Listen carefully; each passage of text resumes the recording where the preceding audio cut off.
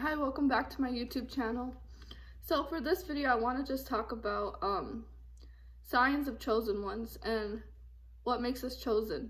So let's get started. So each and every single chosen one, we're all uniquely beautiful and different in our own unique way. So we all have our own beautiful light and we all have this creative, different way of thinking that we bring into this new world that we're going to change the world with the way that we help and we share our wisdom around.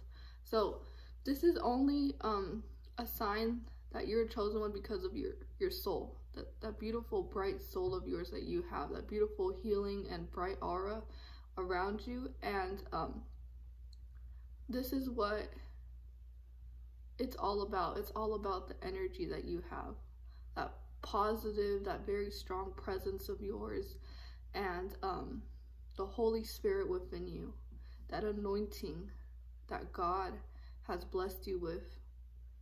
So, ever since birth, you always had an anointing over your life. And so, this has always made life very difficult for you because you're set apart from the rest of the rest of the world and you have something different to offer this world. And you bring on this new world because you're a leader and so you're going to lead people towards the light towards god towards salvation and help them heal and help them um change for the better bring healing onto this earth and uplift the energy around you. Whenever you keep that bright positive energy you don't know you protect your energy because you have a lot of it. Your energy is so strong and it's just it's it's too much. It's a lot. So let's go ahead and get started with this video. So the first the first thing that you already know is that animals um, cats dogs birds butterflies squirrels horses all different types of animals are very um, attracted to your energy they feel safe. They love your energy. They love being around you. Um, they're just very attracted to you. They gravitate towards you. And um, you just have it's your energy that attracts them. Your pure heart uh, is in alignment with their pureness as well. And the same thing with babies and little kids. Their your pure heart they automatically just love you and they smile at you and just happiness because it's purity right there so with animals like cats and dogs, I want to go ahead and share with you guys a couple of stories that I have because I love sharing this. I because I love animals. I love animals so much. Ever since I was little, I just I I have this immense love for animals. And I would even do research. I would um try to memorize different breeds and different cat breeds and how to take care of your cat and different ways to, to take care of them. Um, so ever since I was really small, I lived in these um, apartments and there's a bunch of stray cats just around.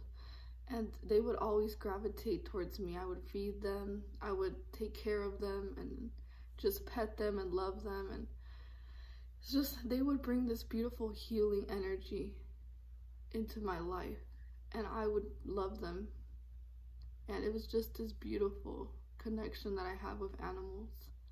And I just remember that I would go to the store and buy cat food and put food for them and stuff like that. But they would follow me around and um, they just love your energy or they're trying to protect you as well. So animals are even sent to protect you because especially cats, they can they're very spiritual animals and they can sense negative energy.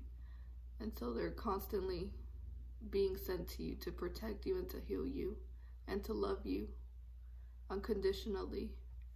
And so I remember I had this little cat named Tigger and um I would even put its little bed. I had a little rug and I put it outside and I just it was like my little my little pet. And just any other different cats. Um I just love animals a lot. Um there was there was certain neighbors that I had that they had pets and I would always just love to go to their house just to see their little pets, like their hamsters.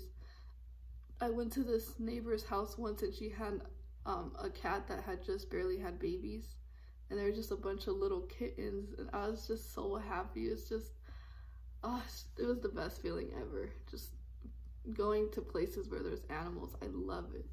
I love it so much, and um, even even with dogs as well. There was one time this stray dog, and I I asked my mom to go buy food for it, and I was able to feed that, that dog and I played around with it. I was petting it and we were just hanging out for a little while.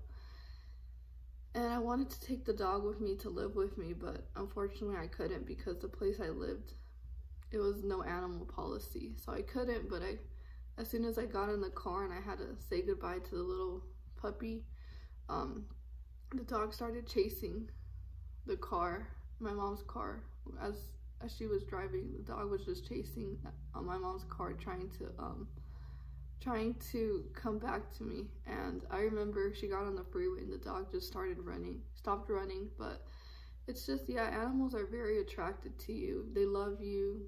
They follow you around. You just um, your pure energy, your positive energy, just makes them feel safe around you. And they love being around you. Um, same thing with babies and, and little little children. They also gravitate towards your energy because little kids are innocent. They're just they're pure. They have no idea what um this world really is like. The negativity, the corruption, the um just evil, wicked, demonic people. They have no idea what it's like. So when they're little, they're innocent. All they know is pure love. All they know is um happiness and living in the moment. And so little kids, they since you're pure love and you how you also have a pure heart and you have nothing but good intentions, little kids feel that about you. And so sometimes um when I was little I would just I had my I would just um I love kids and I, they loved me back so it was just yeah, so that's another thing about us chosen ones. We're very good with we love to take care of um of innocence. We love to protect innocence as well. And um that's that's something. But I remember little kids would just stare at me and smile and um they recognize they recognize your soul.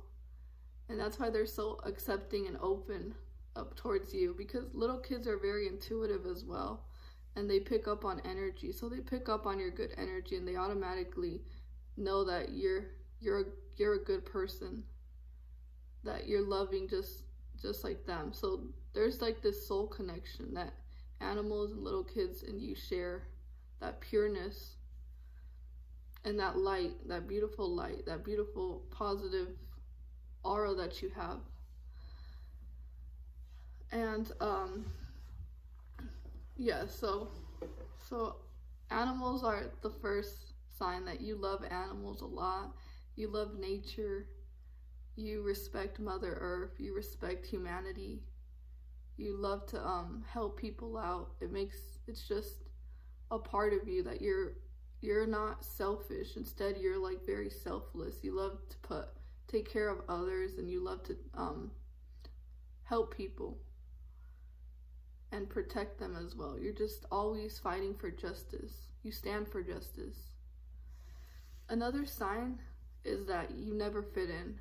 Ever since you were little, um, there's always something very beautiful, unique, and different about you that um, people recognized as soon as you were little. They already knew that you you just stand out from everyone else. And it's just because of that pure, beautiful spirit that God has anointed you with, the calling over your life. So ever since you were little, they recognize that about you. And that's where the targeting begins. Because they're trying to, they're trying very hard to suppress those spiritual gifts of yours. So as a child, I remember I was very creative. I just was very curious about life, curious about the world. I was always seeking a deeper understanding of everything around me. I would ask the teacher, but why, why does, why do we do this and this and that? And just very intuitive emotionally, um, physically,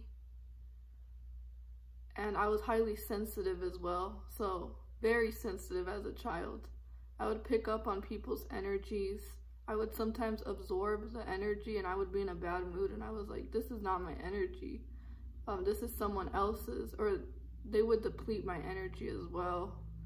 Um, certain things, people will, people are very jealous of chosen ones because your light shines so bright and you don't even have to do anything. You don't have to um, be attention seeking. Your light just shines and it just causes a lot of people to pay to um to gravitate towards you and pay attention to you. But there's a lot there is a lot of envious people, jealous people who will try to dim your light. They'll um project all their negativity onto you because your light shows their darkness and so instead of them dealing with it and actually taking accountability they're gonna actually believe that the emotions that they feel towards you because you trigger them and you cause them like to feel bad about themselves and feel inferior without you even doing anything they're gonna automatically want to deflect and project their negativity and their um, self-hatred onto you. So chosen ones we carry the, wor- the world on our shoulders because a lot of people tend to throw all their baggage onto us. They tend to just um, it's like we're their outlet for them to just throw all that emotional dumping baggage onto us. So that's how we have to really protect our energy because our light really um really attracts a lot of different people and some people just want our energy vampires. They're takers, they're selfish, entitled, and they're only going to want you just for your energy and just to take advantage of that soft spot of your heart. So you don't you never fit in. You would try to fit in as much as you could. Even in school, you just felt like you didn't belong. Even with your family, um, you never fit in with anyone. It's like it's like you were just born in a in a world that really it wasn't for you and it's not meant for you. And um, even if you tried to fit in, even if you would try to to be um, try to change yourself and try to fit in so you so you would wouldn't feel so um rejected no matter what that would actually harm you even more emotionally. And it would take an emotional toll on you because you you weren't meant to fit in no matter what. And so god god intended us to live uh, to be set apart from the rest and the reason why we didn't fit in is because our spirit is so bright and most people are are fueled with um, demonic spirits onto them. And so they reject our spi- our spirit because our spirit is too much for them. And they don't want to deal with their um their demonic spirits that they that they're dealing with. So they instead of them looking within themselves they want to place responsibility onto other people and um, aside from not fitting in, people didn't want you around them because you automatically took their spotlight. So they would purposely exclude you, um, make you feel bad about yourself. They wouldn't accept you for who you are because you were automatically the spotlight. And so they would exclude you. They would tell they would make plans in front of you and they would just tell you, "Oh, um we're not going to invite Adriana so they they wouldn't even tell you like, oh, we made plans because they want to be the spotlight. They don't want anyone else taking their spotlight. And most of them try to play these ego trips on you because they're operating with their ego. And so they think like, oh, she thinks she's better than me, or oh, she thinks she's all that, or oh, um, she's she's just trying, she's trying too hard, or she's too much, yeah. But in reality, it's the fact that um, they they don't want they don't want to face the fact that that they have a lot of work to do on themselves, that they have a lot of healing to do, that they don't want to face reality, that they continue to live in denial and they continue to live in their lies and their delusions that they create for themselves. So that's what that's what demonic um, spirits are. It convinces people that they're better than what they really are. It convinces them that that they're perfect, that they're flawless, that every, anything that goes wrong in their life, they don't want to take accountability for it. They constantly feel like oh, it's someone else's fault the way that I am, the, the reason why I'm so negative. But the thing about us chosen ones is that we're very intuitive, but we're also able to self-reflect and introspect on our on our very own flaws. And we go from within and we tend to not blame others and instead we want to understand people and we un- want to understand ourselves. So when people do something wrong, we try to understand like, well, what caused them to do this and we try to put everything together to to actually gain um, a better understanding of our world and around other people as well. So we're not closed-minded, we're very open-minded. Um, we're not judgmental because we see we see life with a bigger lens. We're more consciousness, consciously aware that of what of our surroundings, consciously aware of people's behaviors, people's energy, the way that they talk about other people. We're constantly aware of um, their insecurities, their negativity, and their um, their facade. So we could see people's facade when they pretend to be happy, when they pretend to be better than other people. We can see right through them, and we can see that they're not really being true to who they are. They're just pretending to be something that they're not. So that's why we don't fit in because people can't stand the fact that you're real and you're not fake like them, so they won't accept you unless you also end up being just as fake as they are. But even if you if even if you were you were to train change yourself, they still wouldn't accept you because of your spirit. It's so bright and it it threatens them. It really threatens them. It threatens their self-esteem. It threatens their um, perception of themselves. And yeah, so they're gonna lie to you. They're gonna try to manipulate you, and they're gonna try to make you feel bad for your about yourself because um, they want to try to play these ego games. They compete with you secretly because they're insecure and they need to prove themselves that they're better than you. So that's another reason why you don't fit in because um, your soul is an old soul. You have a lot of wisdom. You speak truth. You don't speak lies. And most people just speak a bunch of foolishness. So they can't stand you because when you speak, you speak from a place of wisdom and you speak with a lot of energy. And these demonic people, they just silent. They they get quiet when you speak they um they get scared because they know that that you're the truth and you're the light and they're in darkness and so you illuminate that darkness onto them. Another reason why you're chosen is that your spirit is very bright.